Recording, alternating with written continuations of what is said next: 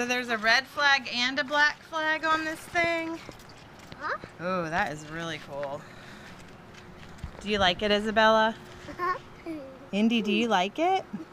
Wait.